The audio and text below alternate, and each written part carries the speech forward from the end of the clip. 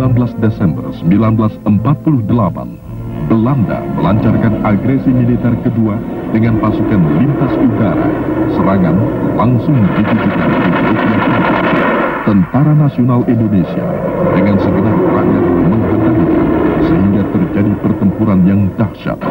Dan akhirnya seluruh kota Yogyakarta jatuh di bawah kekuasaan Belanda.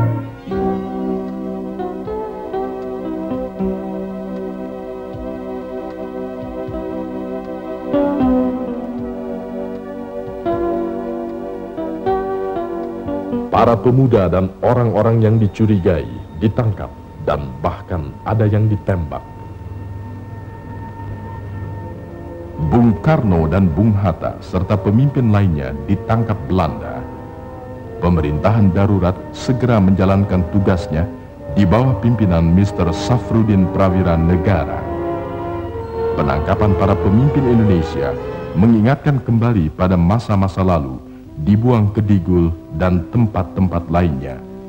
Bung Karno, Bung Hatta, Agus Salim, dan lain-lainnya dibuang ke Bangka.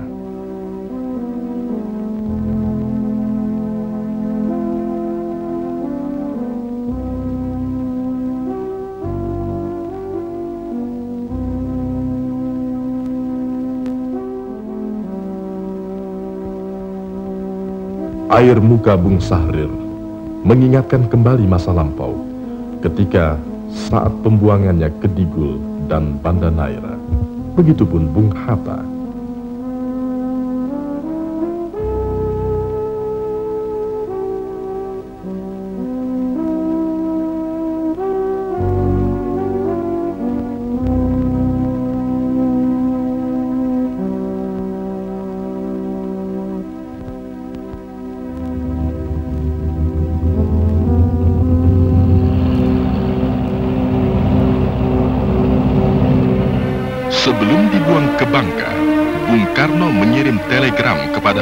Syafruddin Prawira Negara di Bukit Tinggi untuk menjalankan roda pemerintahan Republik Indonesia sementara di Bukit Tinggi dipimpin oleh Mr. Syafruddin Prawira Negara dengan Teguh Hasan.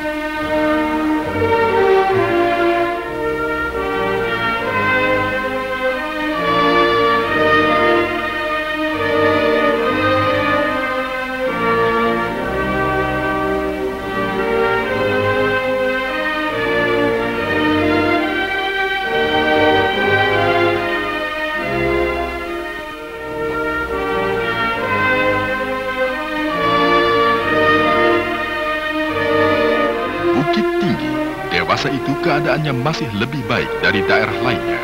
Dan segala kebutuhan pangan tersedia secukupnya.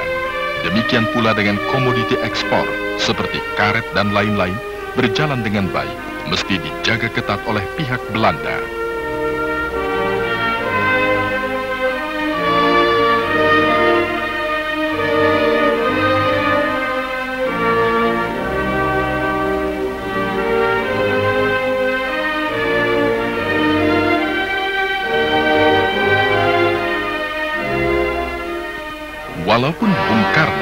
Bung Hatta, serta para pemimpin lainnya dibuang ke Bangka, namun semangat para pejuang tidaklah melemah. Demikian juga para pejuang di Sumatera ini. Mereka selalu bergerak untuk mengantisipasi setiap gerakan pasukan Belanda. Memasang ranjau-ranjau darat di tempat-tempat yang akan dilalui pasukan Belanda.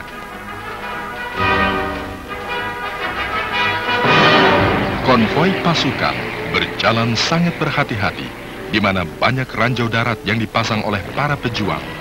Juga penembak-penembak dari balik pohon yang sewaktu-waktu mengakibatkan jatuhnya korban.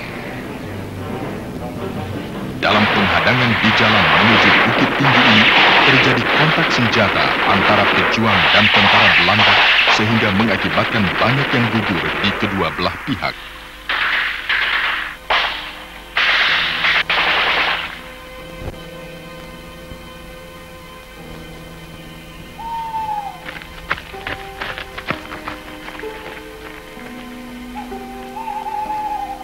Dengan makanan seperti ubi kayu sebagai bahan logistik, dimanfaatkan para pejuang yang bergerilya ke hutan-hutan untuk mengadakan pertahanan dan perlawanan terhadap tentara Belanda.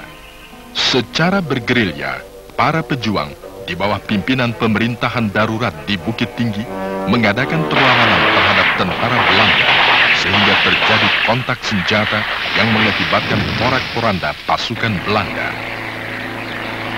Para pejuang melawan militer Belanda tidak terkecuali di Sumatera Barat, Utara, dan lain-lainnya.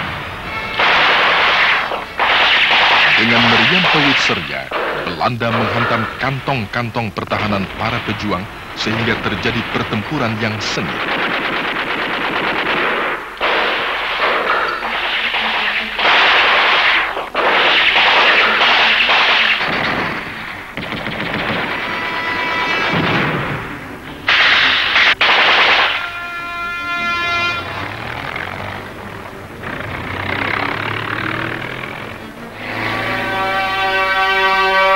Beberapa pejuang yang berhasil ditangkap selanjutnya dieksekusi mati. Banyak para pejuang yang berusia muda gugur sebagai pahlawan tak dikenal.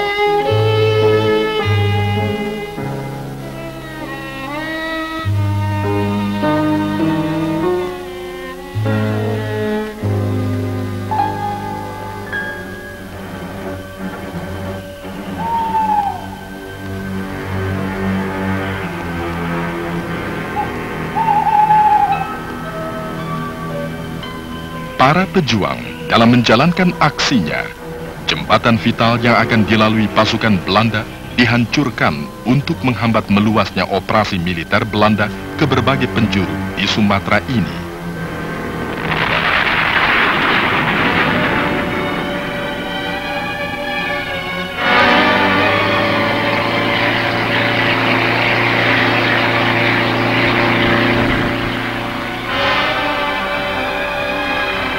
Dengan hancurnya jembatan-jembatan, maka pasukan Belanda dalam menjalankan operasinya dengan berbagai logistik dan perlengkapan tempurnya jalan melalui parit-parit sehingga memakan waktu yang cukup panjang.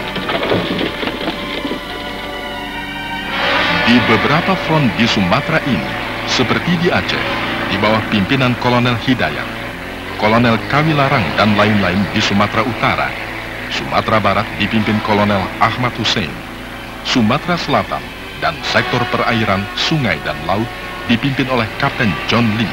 Sejak datangnya tentara sekutu hingga kedatangan tentara Belanda yang ingin melanjutkan penjajahannya di bumi Indonesia ini mendapat perlawanan dari para pejuang. Sering terjadi pertempuran-pertempuran yang mengakibatkan kerugian di kedua pihak, baik harta benda maupun nyawa yang tidak sedikit jumlahnya.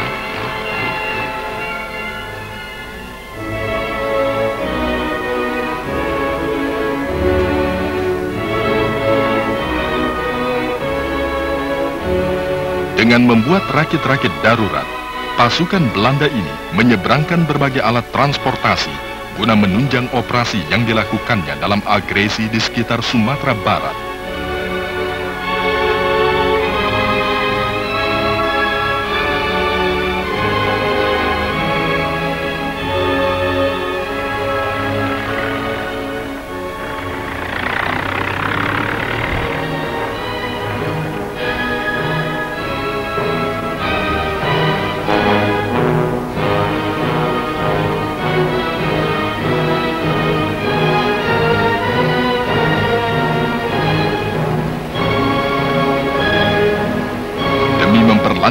Kegiatannya, maka pasukan yang terdiri dari pasukan Zeni membuat jembatan baru lagi. Walaupun nantinya dihancurkan lagi oleh para pejuang kita. Belanda dengan sekuat tenaga untuk menguasai Sumatera ini karena Sumatera banyak kepentingan di sini, di mana berbagai perkebunan yang telah lama diusahakan, di antaranya seperti kelapa sawit, karet, coklat, dan lain-lainnya, juga minyak bumi dan kekayaan sumber mineral lainnya.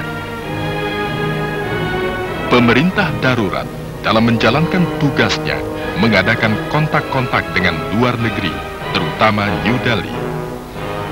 Begitupun koordinasi dengan pasukan kita di sekitar Yogyakarta dilakukan terus-menerus melalui pemancar darurat.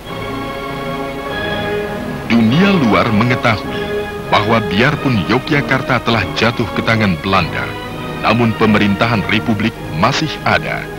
Juga berkat upaya Mr. Sudarsono dan Mr. A.A. Maramis di luar negeri.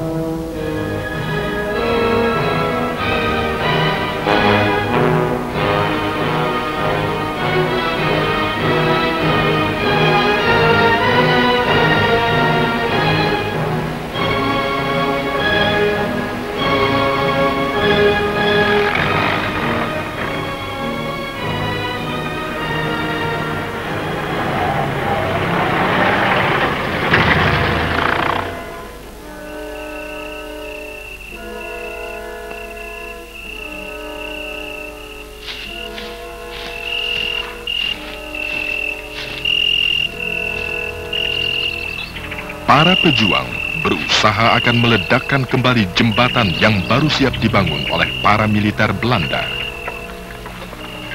Sungai-sungai di Sumatera adalah sebagai urat nadi bagi para pejuang untuk melawan Belanda, seperti di Kuala Simpang, Langsa, dan sebagainya.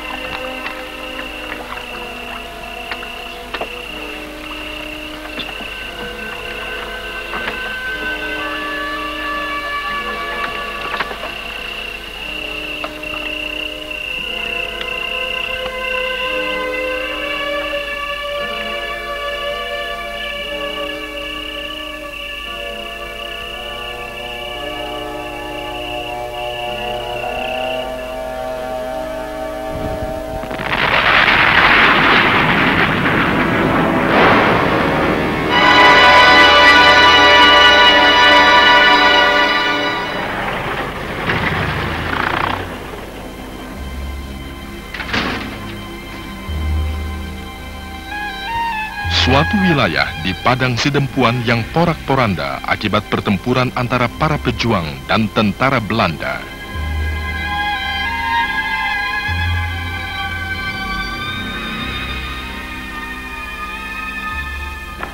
Tentara boneka yang didirikan tentara Belanda dan Nika sedang dilatih untuk menumpas para pejuang kita.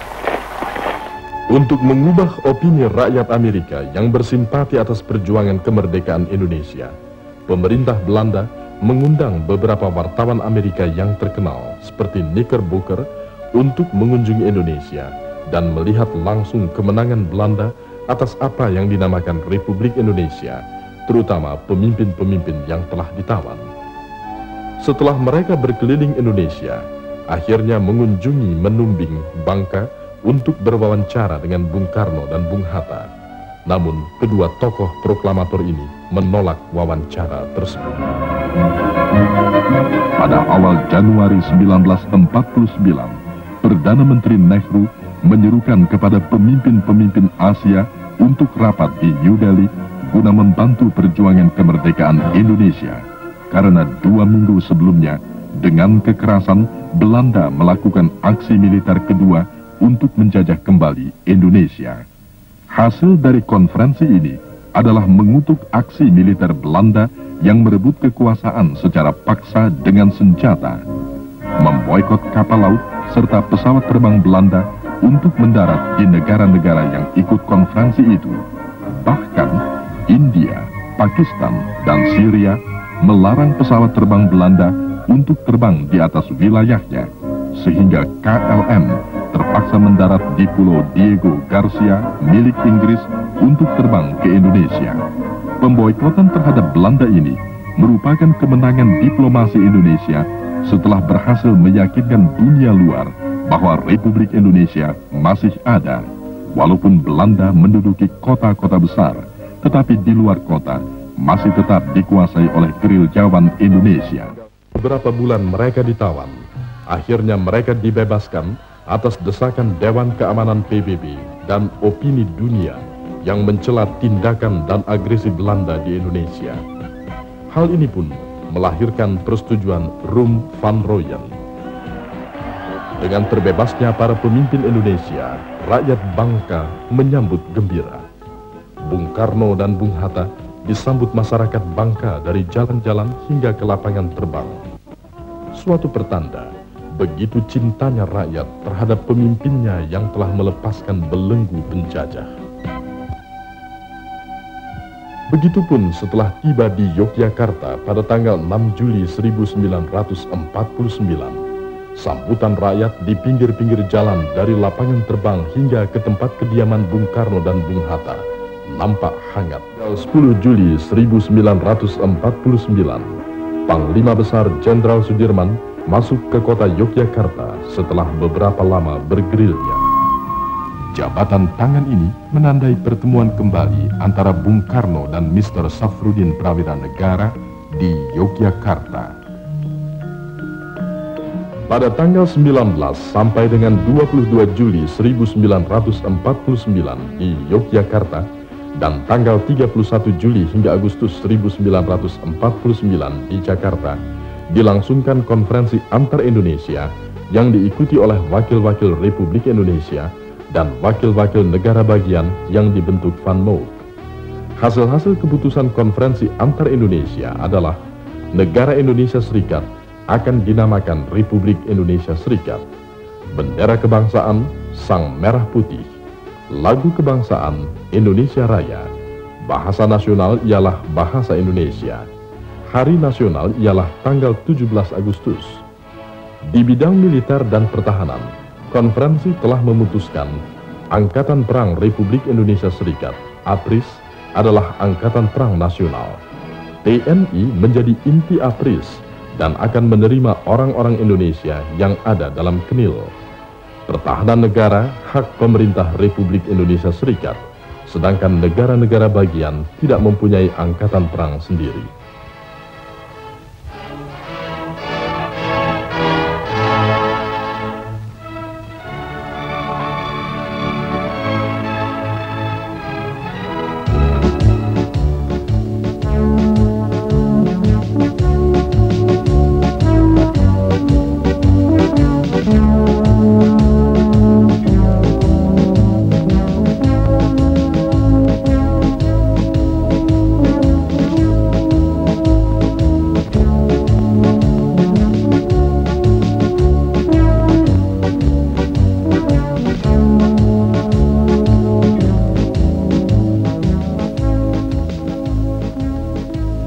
Pagi ini, Insinyur Soekarno diangkat menjadi Presiden Republik Indonesia Serikat. Upacara penghormatan pun dilangsungkan. Barisan pasukan TNI yang belum lama bergerilya di hutan-hutan, pagi ini dengan gagah memberikan penghormatan militer kepada Presiden Republik Indonesia Serikat.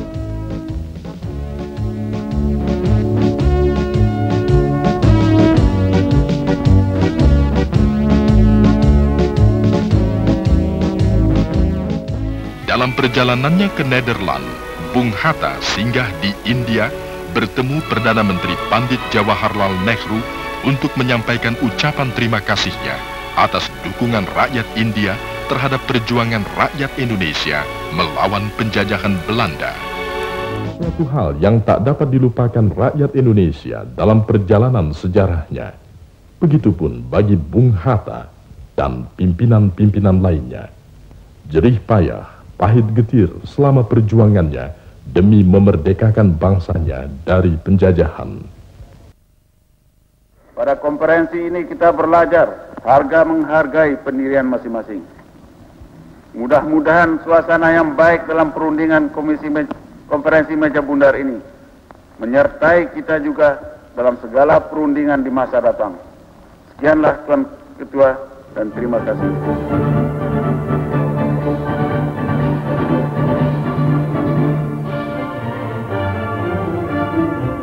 pada tanggal 27 Desember 1949, Ratu Juliana menandatangani piagam pengakuan kedaulatan Republik Indonesia Serikat.